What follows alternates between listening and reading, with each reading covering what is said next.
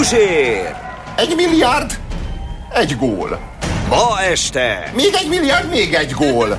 ismét bemutat. Ilyenkor soha nem az történik, Azaz. hogy a másiktól visszaveszünk azt a két milliárdot, amit ellopott. Dehogy is. Mi is lopunk két milliárdot, és ezzel kiegyenlítettünk. A tíz legpusztítóbb magyar politikai mantra. Mindenkit a polgárháború lövészárkaiba kell rugdosni. És egy ember, Választom a kisebbik rosszat. Ezt nektek. Tudjátok mit? A nagyobbik rosszat választom, bukjon az egész, dőljön minden, de ebből a korrupt elitből elegem van. aki rendet tesz a fejekben. Pontosan ugyanazok jöttek vissza. Egy az egy. Semmi különbség. Semmi. Semmi.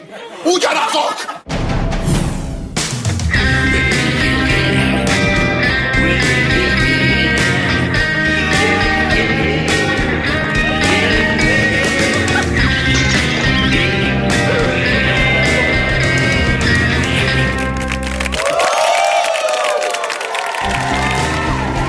Kezdődik a Snobjektív. Szókimondó igazságsó a Hír TV-n. A stúdióban Puzsér Róbert, az ország legrögeszmésebb kritikusa. Öntudatos jó estét kívánok! A magyar társadalom velejéig korrupt, ugyanakkor percről percre elfogja a szorongás, hogy talán mégsem eléggé. A hatalomvágyó és pénzéhes elit ezt látva hazug életelveket és hangzatos önigazoló szólamokat ültet el a gyanútlan elmékben. Ezek a politikai mantrák. Akármelyik, akárhányszor elhangzik, Magyarország minden alkalommal egy kicsit rosszabb hely lesz. Ma este azt a tíz politikai mantrát ismertetem, amely a legrombolóbb hatással volt a Kárpát-medencében az emberi lelkekre, a jogállamra és a demokratikus közgondolkodásra az elmúlt negyedszázad során. A Snobjektív szakértője e tárgyban Farkas Attila Márton kultúrantropológus, az Arrobori című könyv szerzője.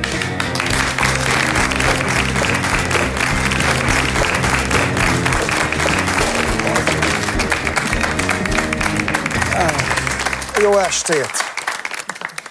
Ezek a mantrák arra szolgálnak elsőrendűen, hogy a, hogy a kádári kisember korruptságban tartsa saját magát, illetve hogy a pénzéhes és hatalomvágyó elit korruptságban tartsa a kádári kisembert. Igen, hallottam, ahogy bevezetted ezt az egészet, de e, mélyebb ennél. Ezek e, preventív mantrák, tehát itt a prevenció a lényeg. Nem, nem, nem is annyira korruptságba tartani, hanem az a fő funkciója ezeknek, hogy eleve ne gondolkodj. Tehát ne legyen autonóm gondolkodás, autonóm döntés. Érted? Mantra az mantra. A mantra azt jelenti, hogy egy program a fejedbe, és akkor és akkor a, a szerint cselekszel, vagy hát idézőjelbe véve gondolkozol. A korruptság és a szolgaság itt azért kéz a kézben járnak. Hát, Nem vagyunk felelősek a saját döntéseinkért. Nálunk nagyobb hatalmak, a főnökünk, a nemzetvezetőnk dönti el helyettünk, esetleg még nagyobb hatalmak, külhatalmak döntenek helyettünk. Mi igazából csak játékszerei vagyunk a sorsnak. Ja, ja, ja, ja, ja, tehát akkor a korruptságot most nem csak a szűke pénzügyi értelemben veszed, hanem a lét korruptságát, ugye? Tehát a gondolkodásmódbeli általán- korruptságot, általános világos, világos, általános romlottságot, így van. Sem a magyar elit, sem a magyar választó nem szereti vállalni a felelősséget semmiért. Hogy soha ne is kelljen, egy olyan mantrát mormol, amelynek révén a sors tehetetlen játékszerének érezheti magát. Tizedik. Kisország vagyunk. Megtanultam, tudom a választ Kicsi az ország, nagy a bánat Még, még,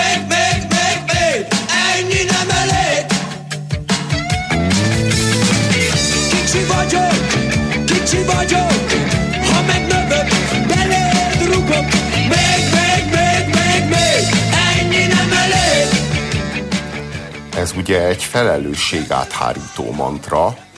Kisország vagyunk, tehát igazán nem vagyunk felelősek. A nemzetek körében mi gyermekek vagyunk, ugye?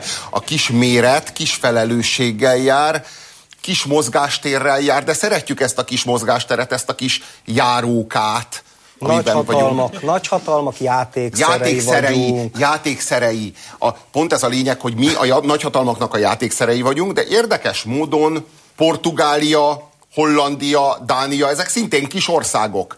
Mégsem gyarmatok. Na, erre, erre azért lehetne azt mondani, hogy ők úgynevezett, az úgynevezett világ szerencsésebb felén vannak, tehát ők gyarmattartók voltak. Mi, de mi a világ szerencsétlen felén vagyunk, ugye? Hiszen Afrikában élő, ö, nem is, tényleg. Nem. Dél-Kelet-Ázsia, nem. Nem, nem, hanem a, miért is vagyunk mi olyan szerencsétlenek? Az Európai Unió tagállamai vagyunk. A. NATO tagállamai. Kelet-Európa. Kelet-Európa. még csak rendes Kelet-Európa sem vagyunk. Várjál, mondhattál volna, mondhattál volna egyébként szerencsétlen történetű kis országokat, Írország például, vagy a balti államok. Mondjuk nézzük meg Észtországot most, meg nézzük meg azt, hogy azért az orosz gyarmat volt. Arról van szó, hogy mindenki szerencsés, és mi szerencsétlenek vagyunk, hogyha a saját rossz sorunkért nem akarjuk magunkat okolni, hanem mindenki mást. Ha át akarjuk hárítani ennek a felelősségét. Nem mi vagyunk azok, akik elcsesztük az elmúlt 15, uszkve 150, uszkve ezer évet, Ezret nem, mondjuk 500-at, de ez az, kisország vagyunk, tehát itt minden hibát, minden bűnt mások csináltak.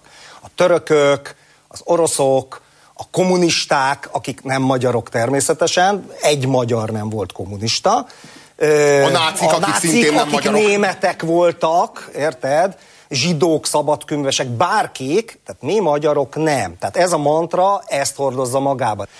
Annyiban különbözik egyébként a többi kilenctől, és vélhetőleg, vagy remélem ezért lett csak a tizedik, mert azért ennek van valamiféle nagyon-nagyon rossz történeti háttere. Tehát azért legyünk igazságosak, a szabadságharcainkat mindig leverték, meg, meg azért sokszor megszívtuk, és nem kifejezetten csak önerőből szivattuk saját magunkat, tehát emögött van valami, hogy mondjam, van valami ö, megérthetőség, de nem elfogadható.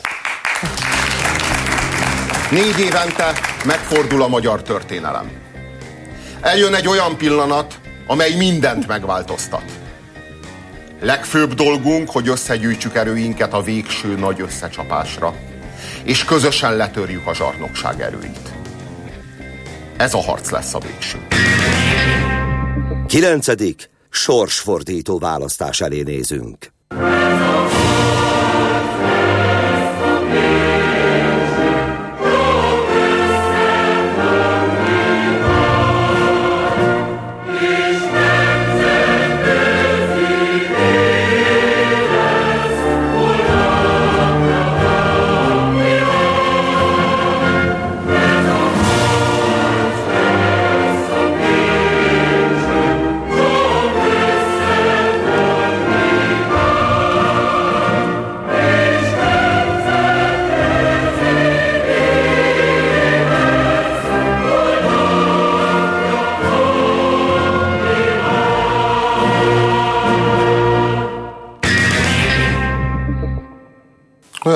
Érzés volt ezeket a, ezeket a hitvalló baloldaliakat látni. Ja, ja. ezeket, A, ezeket a melósokat, Igen, akik tényleg én is, ez én is. öntudatos munkás értelmiség. Abszolút csupa proletárt láttam ott én is, valóban, akik most jöttek a, mit tudom én, kőműves kanál mellől, hoppá, de a szabadkőműves szimbólum is, bocsánat. Tehát rosszat mondtam. Mondjuk Nem, szab, nem mellől. szabad kőműves kanál mellett. Na, szóval a mantrára visszatérve, mert egy picit azért ez a vicces videó elviszi a témát, tehát négy évente mindig jön az apokalipszis. Mindig jön a utolsó, mindig a, a végső, a sorsfordító nagy összecsapás, érted? Tehát nagyon vicces. Számomra teljesen rejtély, hogy a magyar társadalom ennek újra, újra, meg újra bedől. Nem, hát négy évente Stalingrád. Abszolút. Négy évről négy évre be kell hazudni a társadalomnak egy hatalmas, végső, nagy apokaliptikus összecsapást oda, ahol csak korrupt hatalomtechnika van, semmi egyéb. És egy ilyen nagy erkölcsi dimenziót kell hazudni mögé, a jók és a rosszak végső nagy összecsapása. Ugye?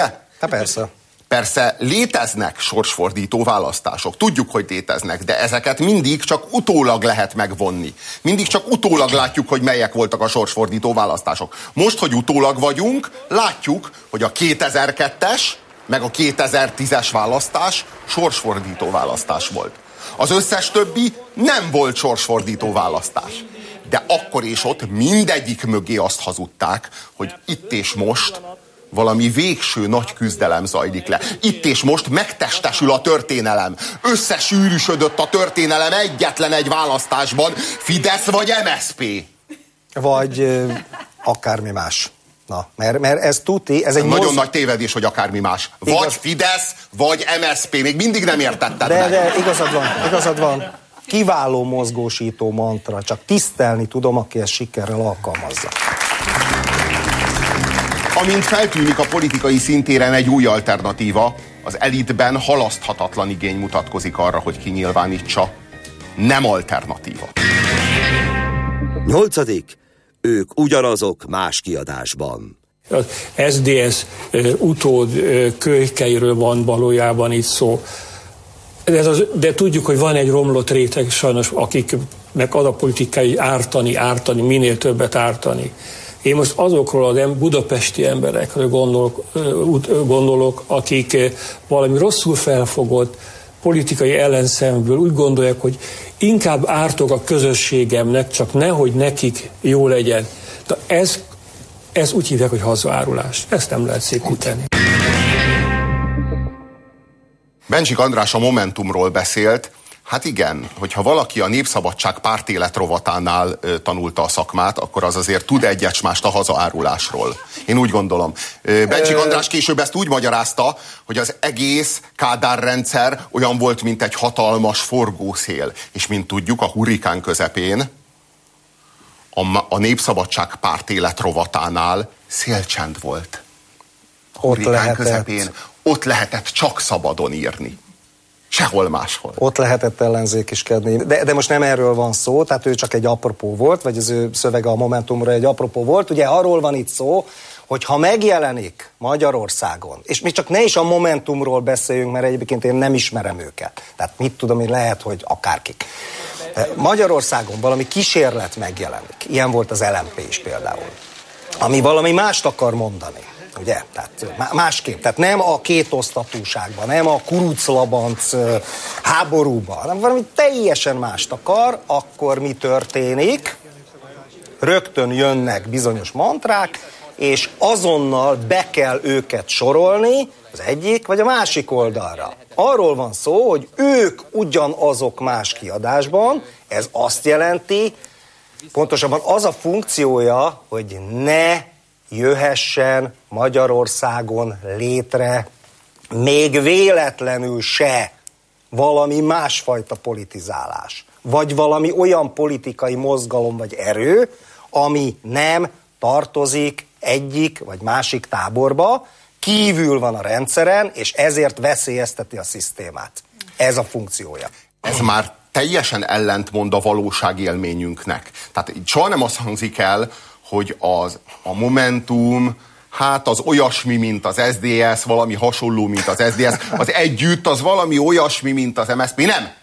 Pontosan ugyanaz! Hát persze. Száz százalékig ugyanaz!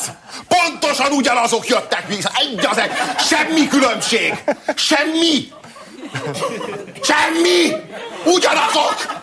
És így legyen örökkön, örökkön, örökké, és akkor be vagyunk betonozva. Ámen. A magyar ember saját tanult korruptságának mintájára modellezi az egész világot. Hetedik. Eladta magát. Van itt egy probléma, amivel önök küzdködnek. Én megértem, hogy kényes helyzetben vannak, hiszen maguk is bevallották, hogy a pártjukat eladták. Ha, ahol eladás van, vevő is van. Mindannyian tudjuk, hogy önök nem a saját álláspontjukat képviselik. Önök benne ülnek egy nagyvállalkozó zsebében. Önök a Jobbikból, egy nemzeti radikális pártból egy csicska pártot csináltak. De ez az önök problémája, amit önöknek kell megoldani.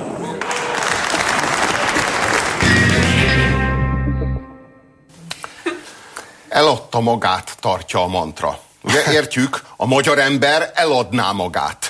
És ezt a morál nélküliséget projektálja rá a politikusaira.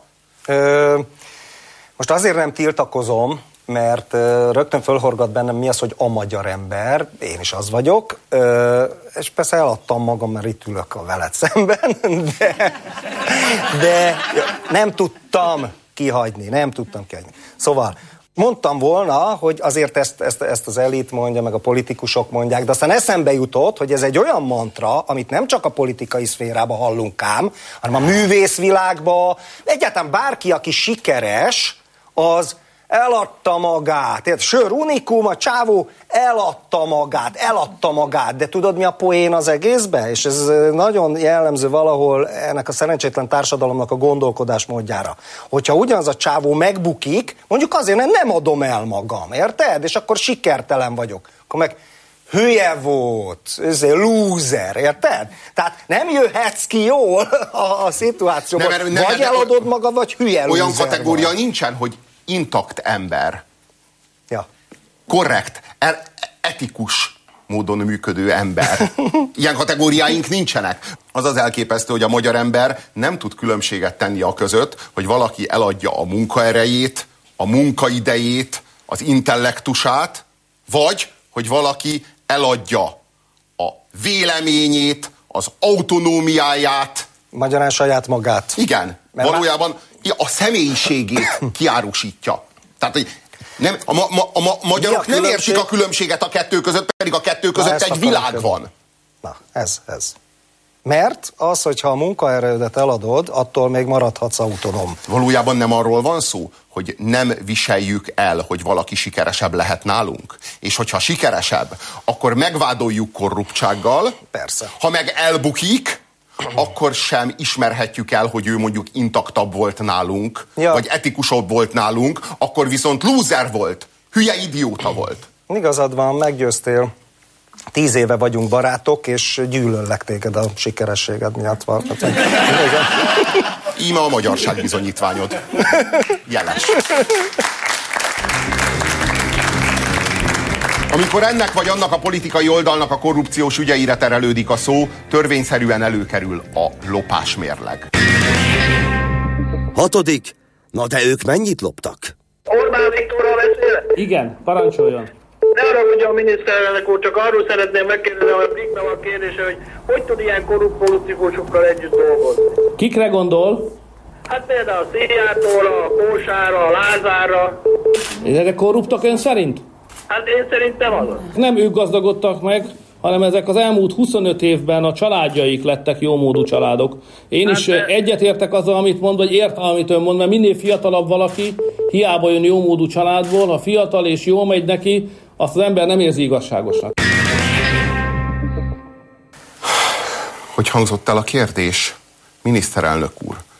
Hogy tud ilyen korrupt politikusokkal együtt dolgozni?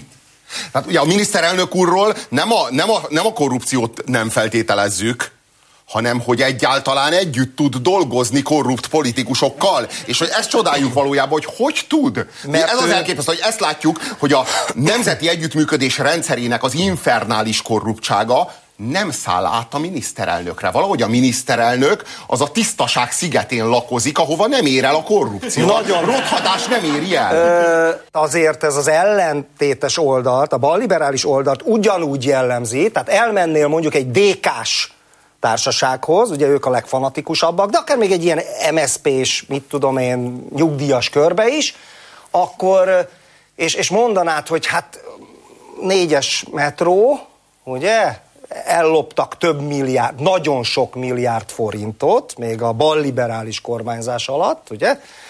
Vagy vecsési számlagyár, meg cuslág, meg tocsikbotrány, meg sorolhatnánk.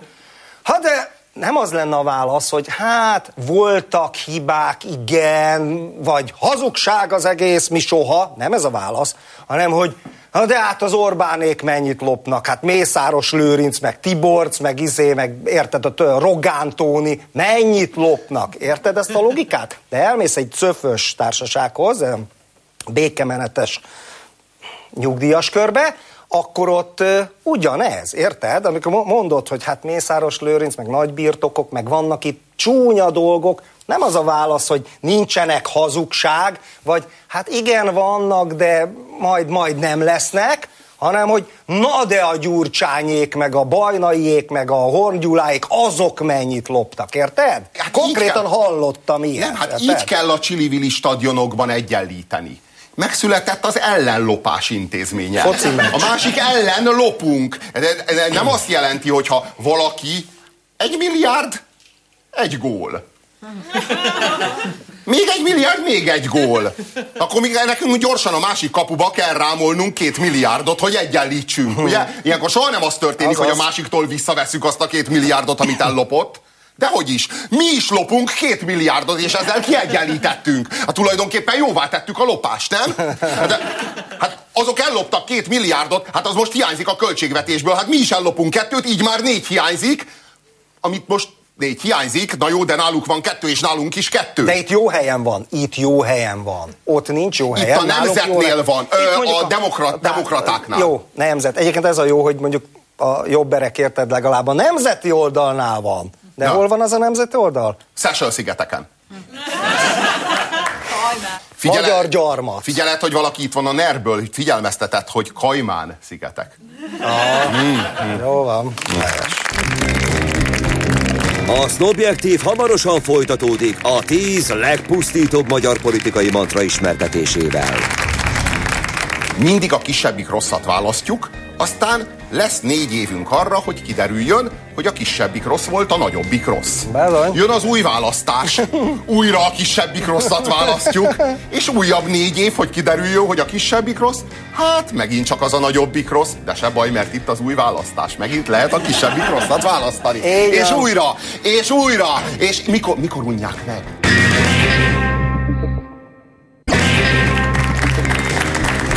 A Szobjektív folytatódik a tíz legpusztítóbb magyar politikai mantra ismertetésével. A terror arkangyala Antoine de Saint-Just szerint a közömbösöket is meg kell büntetni. Ötödik, aki nem szavaz, az rájuk szavaz.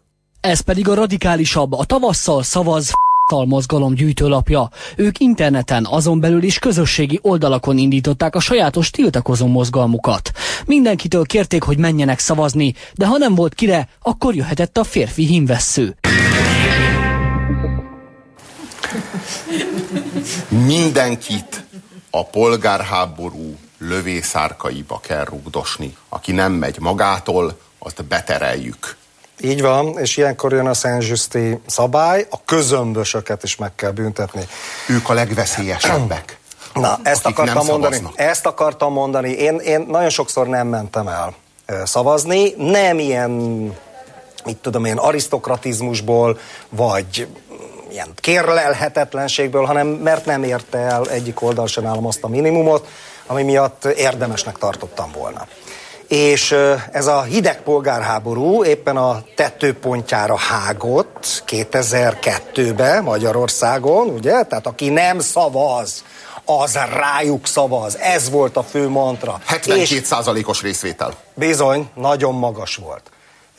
Barátaimtól mit kaptam a pofámra? Tehát em, tisztán emlékszem, egy ilyen nagy MSP szavazó ö, címborám mondja nekem, hogy figyelj, fam, nálad még a miépesek, a fasiszták is sokkal tisztességesebbek, mert azok elmennek, és vállalják, és leszavaznak, mint te, aki nem mész el sehova.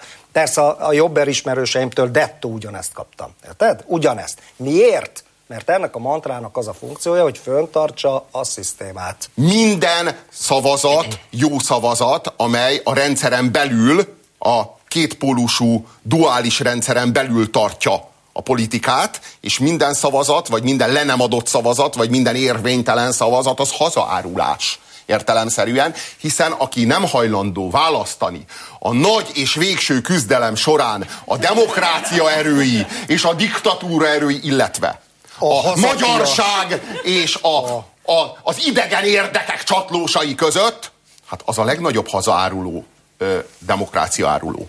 Így van. Pontosan, nagyon precíz. A gyarmati lelkület a magyar ember biztonságérzetének legfőbb tartó pillére. Az a gondolat, hogy amit teszünk, azt a magunk jogán és a magunk akaratából tesszük. Az az érzés, hogy egyedül a magunk bírái vagyunk. Elviselhetetlen. Negyedik, mit szól ehhez a külföld? Mit szól ehhez a külföld? Jaj, mit szólnak hozzá? Jaj, a külföld. És 27 éve hallgatjuk ezt a mantrát, hogy mit szól a külföld. És 27 éve várjuk, hogy a külföld majd szól valamit. Na, és egyébként... 27 éve nem szól a külföld semmit. Nem érdekli a külföldet. Egyáltalán, amíg a kónak megvan a haszna, és azt ki tudja vinni az országból megfelelő ütemben, addig a külföld nem szól a világon semmit. Nincs is ilyen, hogy külföld. Ez az egész egy bluff volt.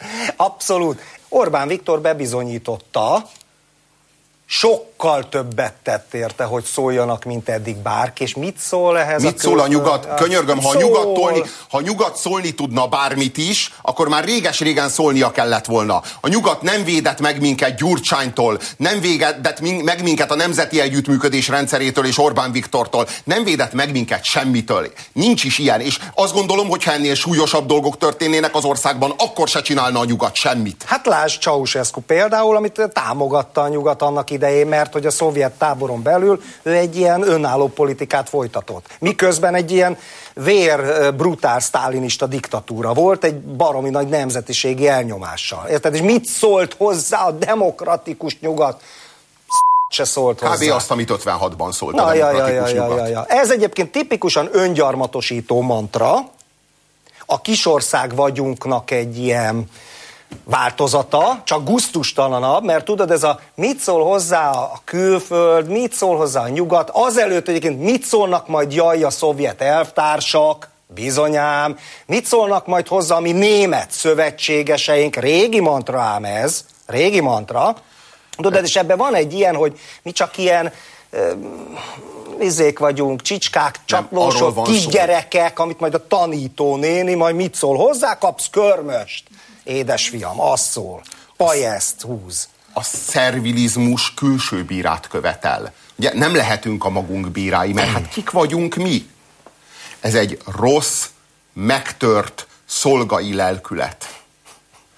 A szervilis magyar ember külföldről, kívülről várja az igazságtételt, mert ő maga nem rendelkezik azokkal az erkölcsi jogosultságokkal. Nincs felruházva vele. Amely alapján ő maga erkölcsi ítéletet mondhat, vagy ő maga felnőhet a saját helyzetéhez, megvédheti saját magát, érvényesítheti a saját érdekeit, mondjuk sztrájkolhat, mondjuk az utcára mehet, mondjuk öntudatot meg gerincet növeszthet, kiállhat önmagáért. Nem, őt védje meg a külföld, őt védelmezze meg a nyugat. Brüsszeltől várja a segítséget, mert, mert megtörte a lelkét Kádár János, mert a krumplileveses tányér mellé szoktatta, és most már onnan csak úgy mer föl-föl pislogni időről időre az uraira, és reménykedik, hogy majd megjön majd a nagyobb hatalom, amelyik majd félreállítja. Tulajdonképpen az, a nagy urasággal szemben csak egy még nagyobb uraságban tud bízni. A Önmagában nem. A, a külföldben. A külföldben. Hát ja. Törzsi gyűlöletből ideológiát kovácsolni épp annyira hasznos művelet, mint várat építeni. Harmadik, a kisebbik rosszat választom. Barátaival mennyire volt fontos téma mostanában a választás, vagy ismerőseivel, családjával? Hát, hát most mit mondjak magának? Hát fontos volt ez a válasz, ne, mármint nem mond fontos volt, mert megmondom őszintén, hogy hát, hmm, mit mondjak magának, nem olyan fontos volt ez a választás, mert jelenleg hát, mit mondjak magának? Ö, egyik párt a másik, de szeretnék erre jutni, hogy hát legyen valami.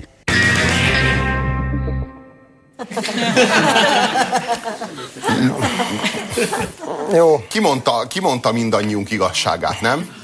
Egyik párt a másik, igen. Tehát, jó, tudja, egyik fontos párt a volt másik. ez a választ, már mint nem volt fontos volt. Ja. Maradjunk annál, hogy egyik párt a másik.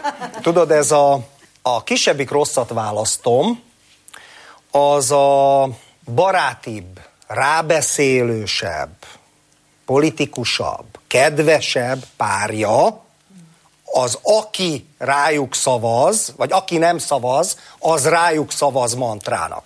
Ugyanaz a funkciója maradjon a szisztéma, rohadjon tovább végtelenségig. Ugye föl kell a nap, lemegy a nap, föl kell a nap, lemegy. Örökkön, örökké tartson az egész korrupt hitvány szisztéma. De tudod, ez az ilyen pajtáskodó, kisebbik rosszat, kisebbik rosszat. Na ez most, a megúszása a történelemnek. Abszolút. Na most van olyan a történelemben, hogy kisebbik rossz valóban. Például mondjuk Churchill döntése, belépe Nagy-Britannia háborúba, vagy nem. Mondhatunk ilyeneket, de valahogy ez megint a történelemnek egy ilyen, ilyen hitvány apró pénzre váltása. Tehát gagyi, gagyi, ezért vicces egyébként. Ez egy lerontott hazugság uh-huh. valójában. Mert nincs jó, ugye? Nem, hát abból a tézisből indul ki, hogy a politikában nincs jó. Csak rossz és rosszabb lehetőségek vannak. Mindig a kisebbik rosszat választjuk, aztán lesz négy évünk arra, hogy kiderüljön, hogy a kisebbik rossz volt, a nagyobbik rossz. Bezony. Jön az új választás, újra a kisebbik rosszat választjuk, és újabb négy év, hogy kiderüljön, hogy a kisebbik rossz, Hát, megint csak az a nagyobbik rossz, de se baj, mert itt az új választás. Megint lehet a kisebbik rosszat választani. Igen. És újra, és újra, és mikor, mikor unják meg? Egyes társadalmak megunták, lásd Trumpot. Érted? Ott, ott a, a Clintonék, Azért buktak, mert az amerikai társadalom kimondta, hogy nem választom többé a kisebbik rosszat. A Clinton lett kiállítva, mint a kisebbik rossz. Pontosan, saját maguk is így állították be magukat, amikor a Bernie Sanderséket kinyírták, ami lehetett volna az ottani baloldalon, liberális oldalon egy alternatíva, és akkor ugye a Clintonék, mi még mindig jobbak vagyunk, mint a rasszista, fehér, bunkó, középnyugati, izé, adócsaló, fasiszta, kuklux izé, náci Trump, mi még mindig azért, ugye, minket választatok, hisz jön a fasizmus, és akkor jó, Számszerileg még mindig többen szavaztak rájuk, de rengeteg ember, pedig a republikánus párton belül is mekkora ellenzéke volt Trumpnak, egyszerűen az amerikai társadalom egy része azt mondta, leszarom a kisebbik rosszat. Ezt nektek. Tudjátok mit? A nagyobbik rosszat választom, bukjon az egész, dőljön minden, de ebből a korrupt elitből elegem van, tele van a hócipőm vele inkább omoljon össze a ház. Eljut egy társadalom eddig a pontig. De így lehet establishment buktatni.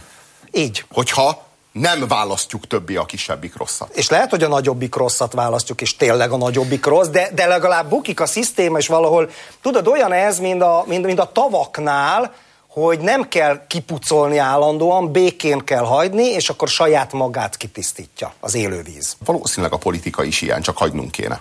Aha hogy lefolyjon a szemét. Anarchista vagy. Bár ez lenne az anarchizmus. A második legpusztítóbb magyar politikai mantra egy olyan státuszra utal, amely még soha nem valósult meg az emberiség története során. Második, ők már megszedték magukat. Értes, nézd, éhezem. Rakodj be, fázom. Ostoba vagyok, foglalkozz velem.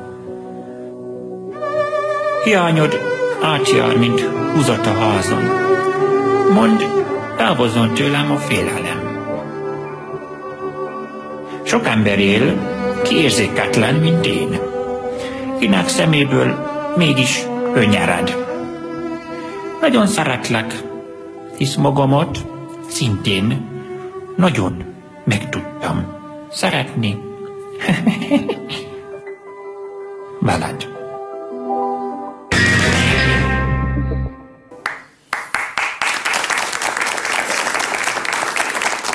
Az ember megszereti ezt az oligarchát, nem? Hmm. Olyan hát, cuki.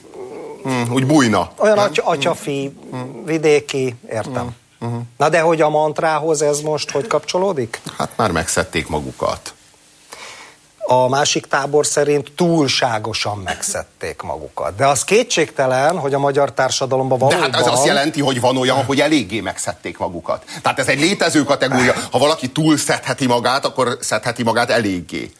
Na, Na hát akkor létezik az eléglopás. Értjük. Milyen ez, hogy a korruptsággal érvelni? Mit a kisebbik rossz? De a, hogy azzal elviszik, érvelni, azt tehát hogy nem is elviszik. tagadja, hogy lopunk, Persze. hanem csak azt mondja, hogy hát mi már loptunk. És akkor ebből nem az következik, hogy tehát rátok hatalmat. Soha nem szabad bízni, hiszen ti már loptatok. Hanem az következik, hogy rátok hatalmat. Hát nyugodtan lehet bízni, hiszen ti már loptatok. És a mantra nem úgy van, hogy mi már megszedtük magunkat, hanem ők már... Ők! ők ilyenkor ilyenkor eltávolodunk, eltávolodunk a politikai pontosan. osztálytól. Ja, ja, ja, hát nem rólunk van Ők szó, már. ők már, Ők ők, már. akik az érvelésben mi vagyunk, de Hát ők. ha lopásról van szó, ők. Ők. Ha nemzet megsz- megmentéséről, akkor mi közösen. Ma este a tíz legpusztítóbb magyar politikai mantrát ismertetem. Kilenc helyezésre már fény derült, és hamarosan sorra kerül a legmérgezőbb valamennyi közül. Tizedik, kisország vagyunk. Kilencedik, sorsfordító választás elé nézünk. Nyolcadik, ők ugyanazok más kiadásban. Hetedik, eladta magát. Hatodik, na de ők meg mennyit loptak. Ötödik, aki nem szavaz, az rájuk szavaz. Negyedik, mit szól ehhez a külföld? Harmadik, a kisebbik rosszat választom. Második, ők már megszedték magukat. A magyar történelemben 40 évenként elhangzik egy varázslatos szólam. Ott és akkor mindannyian elhisszük, sőt, el sem tudjuk képzelni, hogy másképp legyen. Végre megkaphatjuk azt, amit sohasem érhettünk el, de amire mindig is a legjobban vágytunk. Első, végre a győztesek oldalán. Prága Európa, Varsó Európa, szőrszálat hasogatsz, csűrsz és csavarsz. Remény Európa, röhely Európa, jó pofa hatalmi játéket tavasz.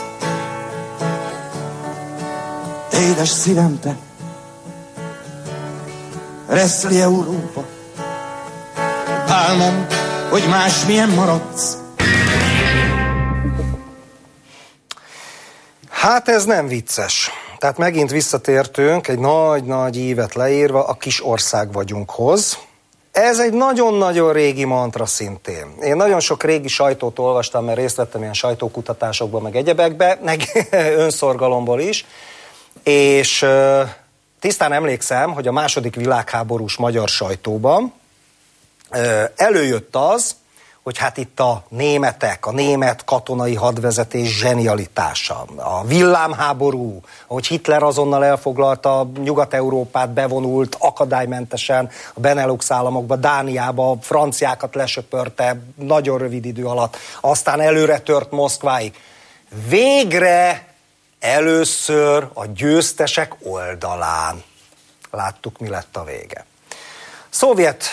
Szovjet-Unió, szocialista sajtóba állandóan előjött, hogy hát mi lett a népek börtönéből, a hitvány szörnyű, em, nyomorult cári Oroszországból, a világ első számú nagyhatalomja, a legfejlettebb emberi társadalomnak, a szocializmusnak, illetve a kommunizmusnak a képviselője és építője. Embert küldenek az űrbe. Embert küldtek az űrbe először, és mi végre először a győztesek oldalán. Nem jött be. Láthattuk, hidegháború elveszett, Magyarország elveszett vele együtt. Erre mit olvasok a NATO csatlakozáskor, sajtóban? Magyarország végre a fejlett nyugathoz, végre először a győztesek oldalán, az EU csatlakozásnál ugyanez a duma. És hát, hogy látjuk, hogy bomlik. Tehát szóval sokszor, sokszor elgondolkodom ezen, hogy mi ezt így, ez egy ilyen negatív, mágikus képességünk. Erre egy nagy nemzeti vállalkozást lehetne alapozni. Bizony. A szolgálatainkat felkínálhatnánk azoknak a nagyhatalmaknak, amelyeknek a győzelmében ellenérdekeltek vagyunk. Pontosan. Ugye? Csatlakozzunk az ellenségeinkhez, és veszeltsük el őket. Így van. És Így keressünk ezzel sok pénzt. Így van, pontosan. Egyébként tényleg lehet, hogy ezt a mostani orosz orientációt, ezt a Merkelék pénzelik? Tehát ha Meg magyarok lehet, oda meg lehet, hogy a- csatlakoznak, meg lehet, hogy akkor Putyinnak vége. a működést. Én állítom egyébként, hogy már a, már a, a kiegyezéskor ez a mantra ment hogy végre a győztesek oldalán, tudod?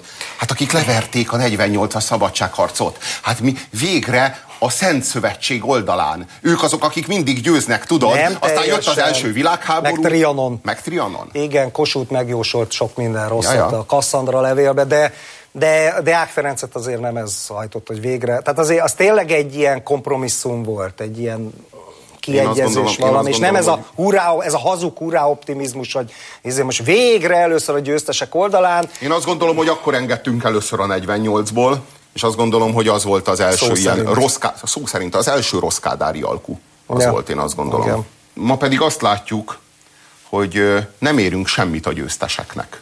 Semmit. Annyit se, hogy megvédjenek minket akár a Putyintól, akár a NER-től, vagy hogy megvédtek volna minket akár a Gyurcsánytól. Semmit.